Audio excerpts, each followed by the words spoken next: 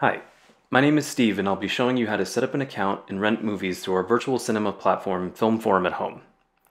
You can go directly to the homepage here at filmforumhome.org, or if you're on our main website, filmforum.org, you can click Now Playing, choose the movie you want to see from this dropdown, and then here you can read about the movie or you can click this button to go back to that home page.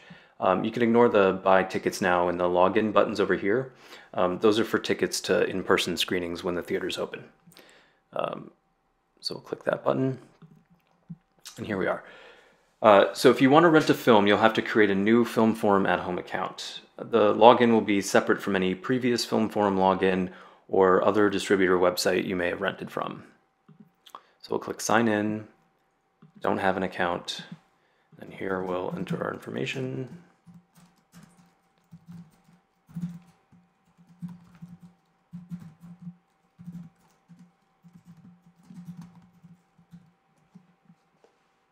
Click agree and sign up.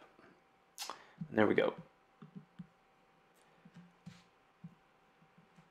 All right, so once you create your account or you log in, you can choose the film you want to see from the scrolling menu on the right here. If you click the video player box, you'll be able to watch the trailer for the movie. And if you want to rent the film, click this button here, Get at Home Tickets plus Donate. Uh, on this next box, you can choose if you want to rent the movie at a specific showtime or watch on demand.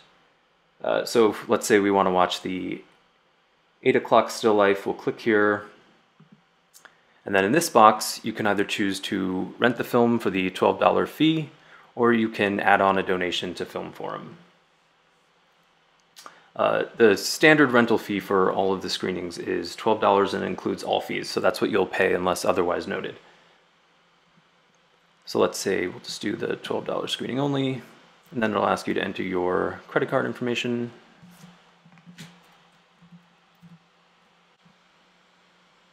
Then once you've entered your credit card information, you can either click this button to save that info or click pay.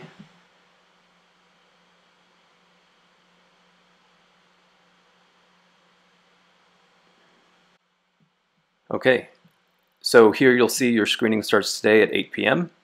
Um, if you decide that you'd rather not wait until 8 and you actually want to watch it on demand, you can click this button now, so watch now instead. Uh, your purchase is scheduled do you want to convert it to on demand now? Say yes. And there we go. Now if we click the button, the video starts playing. Standard video controls here. Um, so once you pay for the film rental, you'll have 30 days from payment to watch the movie. But then once you start playing it, like I just did, you have 48 hours to finish it once it starts playing. Uh, if you need help, you can click the FAQ button up here um, this has some questions and answers that we've laid out. Um, or if you need to contact us, click Help, which will take you to this contact form where you can request support and someone will get back to you within one business day.